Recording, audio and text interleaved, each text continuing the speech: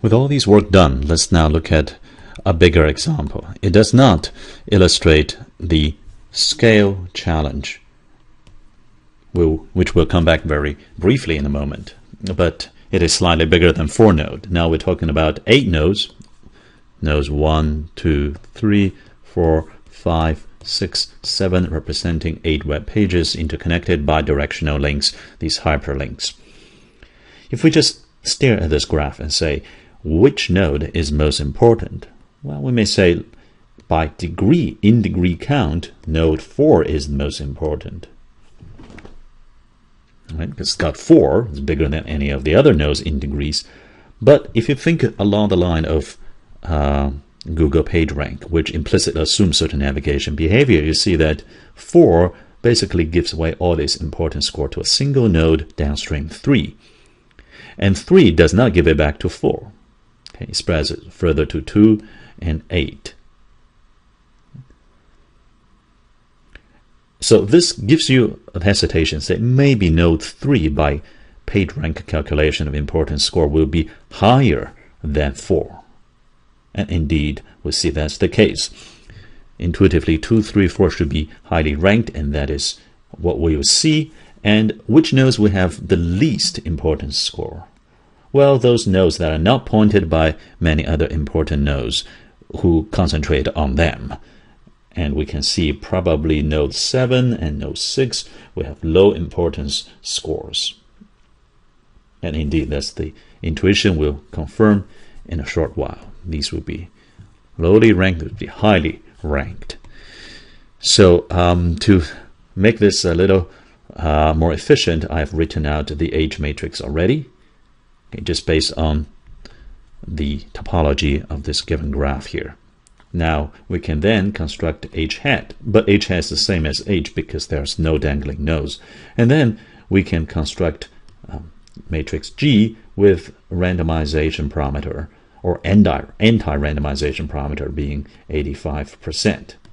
And then 15% of the time we'll be doing random hopping among the pages.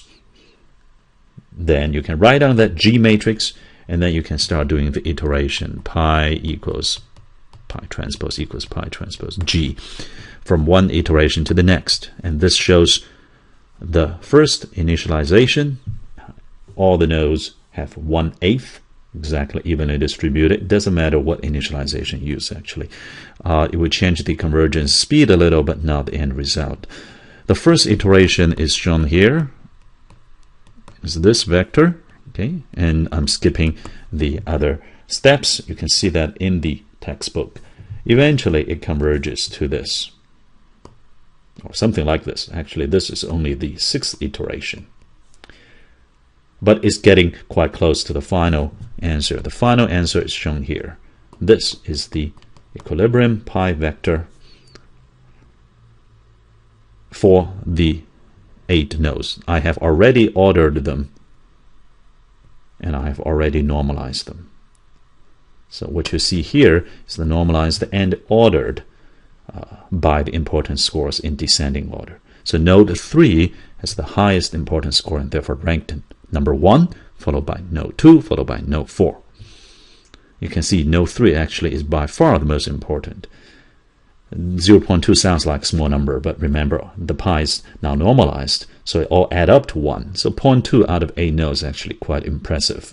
2 and 4 are about the same, and nodes 6 and 7 are by, by far the smallest. Okay, that's 0.06, 0 0.04. But then again, um, Google PageRank returns the ranking, it does not show you the actual scaling. So the scaling is only intermediate step. And this confirms our intuition. What we just said before, that node 3 perhaps is the most important, even though node 4 has a higher in degree. That's because PageRank calculation models the navigation behavior, saying that if a lot of people come to this web page, but then they all have to go out to this page, then this page actually uh, shares 100% uh, of the importance score spreading from node 4.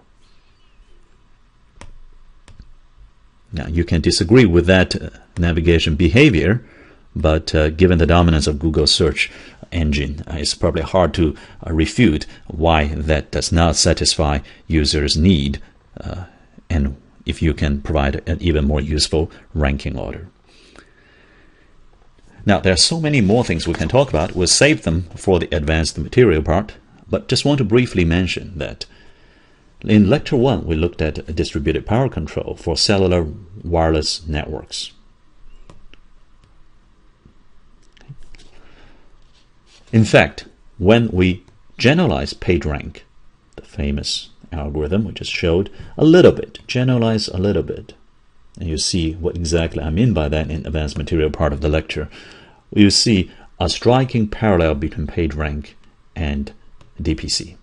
PageRank used by Google for uh, billions of searches each day, and DPC is used by all the 3G cell phones invented uh, by um, a number of companies, and but eventually most of them funnel through Qualcomm.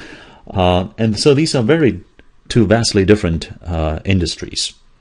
This was invented in the early 90s, was, was in the mid to late 90s, uh, but mathematically they have a very interesting parallel. This is a network of interfering nodes. And the topology, the graph, is represented by a matrix G where the GIJs are the direct and interference channel gains. This is about a graph of web pages hyperlinked and directed. Turns out there's another matrix, same symbol but very different definition of uh, Google matrix that help you to rank these web pages. The functionalities are vastly different, but turns out a generalized version of the PageRank we just saw has exactly the same mathematical formula as DPC. Okay. So if you're curious about that, uh, please come to the advanced material part of the lecture. Now, PageRank can be understood from quite a few different angles. We talked about this eigenvector angle. We talked about this iterative computation angle, modeling uh, the hopping behavior, navigation behavior of a user uh, or this random walk on graph behavior. There's also an economic growth model angle, which is actually what led to this equivalence. But the biggest challenge for Google using PageRank is the challenge of scale. The n is too big. But fortunately, these graphs, H is sparse, and the other graphs uh, matrices are rank 1 matrices. So you add two rank 1 matrices to a sparse graph, you get a very well structured graph G that helps a lot in scaling up the computation. Notice that this computation is done in a central server. DPC is done in a distributed way, That's the word distributed power control. So there's a big contrast between those, but then again in DPC we're talking about uh, tens of nodes. Here we're talking about millions of nodes relevant to a search if not entire set of web pages, 40 to 60 billion out there. There are quite a few tricks you can use to improve the scalability of this centralized computation. One is numerical linear algebra methods. Okay, there are a lot of uh, ways to decompose this matrix H uh, so that you speed up the uh, computation of matrix multiplication.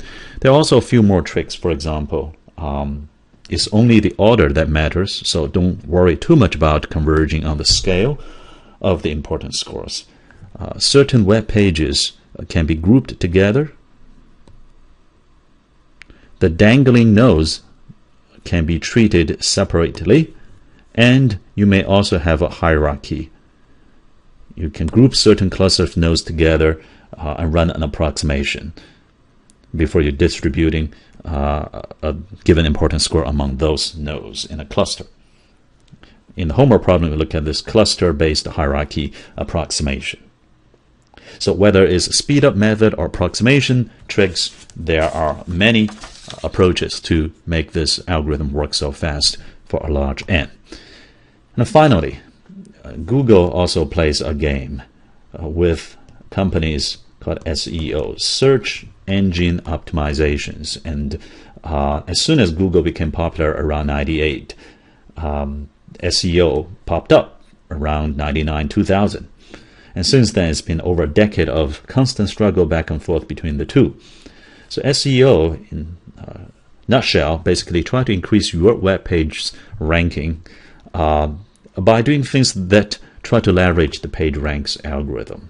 For example, they will say, here's a truly important web page I construct. Then, if you pay me, I'll provide pointers to uh, your web pages, even though your web pages may not deserve a high rank.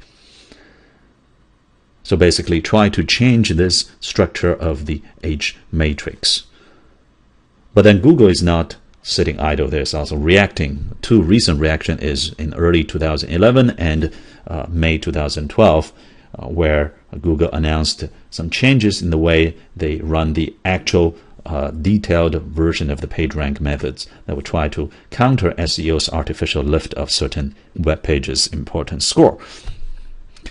So there's a lot of interesting stories that we will have time to go into. Uh, let's quickly summarize what we have seen so far in this lecture.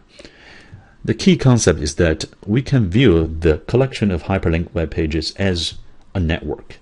There's a graph that we represent by matrices such as H, H hat, and G.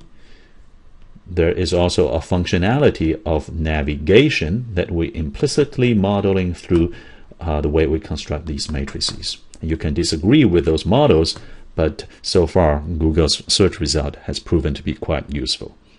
And this is a general theme that connectivity pattern provides a hint on the node importance. Come back to this in lecture 4 with three more additional importance metrics suitable for other purposes.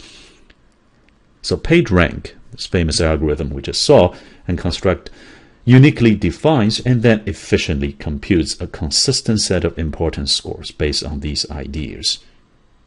And one of the angles we just saw and emphasized is the dominant eigenvector angle. That's the pi star transpose equals pi star transpose times Google matrix G.